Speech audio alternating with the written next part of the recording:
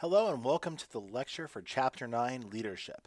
Over the next few slides, we're going to walk you through some of the theoretical approaches and understandings of leadership, specifically how leadership functions inside the small group. All right, let's go ahead and start off with a couple definitional things. So when we talk about leadership, what we're talking about is the way that we use communication to influence and modify attitudes and behaviors of the members of the group to help the group better meet its goals. So a couple things to understand here at the offset. All group members provide leadership in one way or another. As we'll talk about later, good leaders try to inspire other people to be leaders. Um, this process of influencing people and trying to reach for those group goals is something that's accomplished through communication and through persuasion. Ultimately, when this is conducted correctly, the group reaches and achieves the shared goals that they have together, and ultimate leadership is something that needs to be adaptable to changing conditions. So let's go ahead and talk a little bit about influence. When you see group members trying to use persuasion to modify the behaviors, they're actually using influence, right? This is the use of interpersonal power to modify the actions and attitudes of other members inside the group. Next, we're going to talk a little bit about these types of power that leaders can use to influence other group members. All right. So, first on the list is that of referent power. Referent power is a type of power that comes from the ability of an individual to be liked. When people have likability and some charisma, ultimately they tend to garner the group's support and can more easily persuade individuals in, inside of that. Uh, the next type of power that we sometimes see is when people can exercise information power, right? This is based on the ability of a person to control the flow of information to group members. And so as they have information and they can release the control, group members are dependent inside of that, and that gives them the ability to have influence. Ecological power, on the other hand, comes from the ability for people to manipulate the logistics and the tasks and even the physical environment of the group. So the ability to control the order of which things happens can give people power. Uh, reward power is a type of power that is derived from the ability to give people what they want or what they need. For example, in a class, you often see teachers do this in terms of like providing grades and awarding points inside of that. Uh, the flip side of reward power is punishment power, and this comes from the ability for someone to take away what members want and value. Um, a sub-related concept of this is that of coercion, and this is where someone uses uh, the use of threats um, or other um, fear appeals to try to make an individual comply to what they want. Um, last on our list here is expert power, and this is um, kind of stems from an individual's perception of knowledge or skill on a particular subject. So when you see individuals have that, you can see those things take a pl uh, take place inside of that.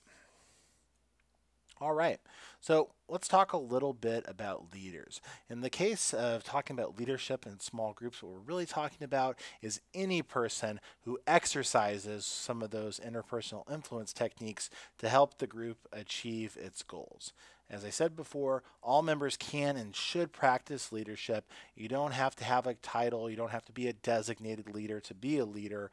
Um, ultimately, it's just your use of communication to influence individuals towards shared goals that actually allows people to lead other people inside of that. So there are two types of leaders that we tie that we tie into here. First off, we've got our designated leader, and this is an individual who is appointed or elected and has a title that identifies um, him or her as leader. So when you have like the president of a college or the university, or you have a chairman of the board, or you have somebody who has been um, elected the head of a department. These are individuals that are designated leaders, right? In the case of many workplaces, your boss is a type of designated leader because they have something such as CEO, which makes them um, a designated leader. The other type of leader that we talk about that we see more commonly in groups like the one that you're part of in this course is what we would call an emergent leader. And this is an individual that starts out at the same status as everybody else, but gradually emerges as an informal leader in the eye of other groups. Typically by the end of the semester, most groups in this class will have an individual or a couple of individuals that kind of have pulled ahead, ahead of the rest of the group and have you know started to exercise some of the uh, the skills and tasks that we would expect from leaders. But again, keep in mind that could be anybody and everybody inside the group. Okay, so a couple of things that we would expect from good leaders. One is to set goals and keep the group focused. Remember, the focus of a good leader is to help the group achieve the goals of the group, not necessarily their individual goals, and but the goals of the group and that they're trying to accomplish. Um, good group leaders create teams. So instead of just having people that are together, they kind of build that interpersonal dynamic inside the group that increases commitment and gets people together. Good leaders are focused on the end game. They'll let things, you know, go through a creative process, but they're always kind of focused on that solution and getting the group where they need to be. Good leaders typically inspire leadership in other people. They try to get people to rise to the occasion and take charge and help lead the group as well. And ultimately, good leaders respect their role and don't abuse their power. In addition to having those traits, there are also a series of expectations that group members tend to have of their leaders. One of the most common one is to uh, kind of perform administrative duties, perhaps schedule group meetings, keep logs, keep track of uh, the group's written communication, inside group discussions. They might ask that person to play the role of a moderator and keep discussions fruitful and going, but also they kind of expect them to develop the interpersonal and task behaviors to make the group more solidified and more effective and give them um, focus and the skills that they need to be successful. So there are a lot of different styles of leadership. I'm just going to briefly touch on those. When we talk about the autocratic style of leadership, this is your more like heavily task focused traditional style where the decisions of the group are made solely by the leader and those decisions are uh, decisions are law. Um, this can be contrasted with the democratic style of leadership. This is where the decisions are still made by the leader but in consultation uh, consultation with the group, right? So this is an individual that's kind of still task focused, but also more tied in to the socio-emotional uh, focus of the group. Uh, this also contrasts with the laissez-faire style of leadership, which is a more passive, hands-off attitude, you know, allowing others to develop their ideas and maybe inserting themselves here or there, but not as much. Uh, the transactional style of leadership involves an exchange of resources between leaders and followers and ideas, but kind of less of that dominating power that we would see in autocratic styles. Uh, transformational leadership is where a leader inspires their followers to act beyond their own self-interests and to try to put themselves um, beyond their own individual goals and kind of seek the better goals for themselves and others.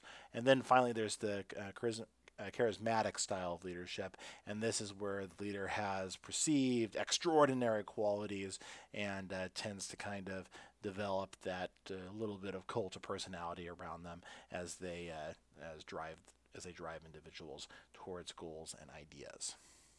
Okay, um, as we wrap up this conversation, here are a few ethical guidelines for group leaders, and so you should pay heed to these should you find yourself in a leadership role. Uh, the first one is pretty basic but important. Do not lie or be deceptive. It's important to be open and honest with your group members.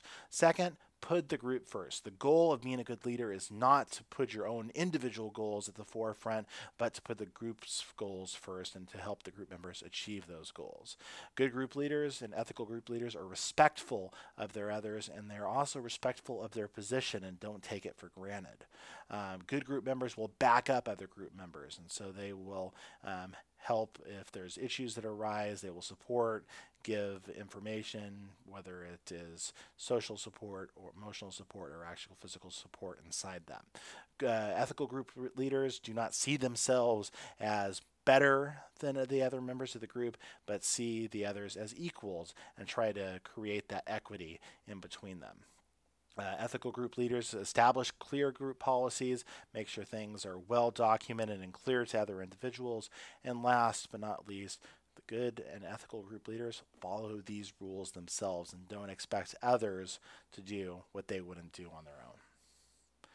All right, well, that wraps up our discussion of leadership. Once again, thank you for watching. And as always, if you have any questions, please contact me at any of the means available to you.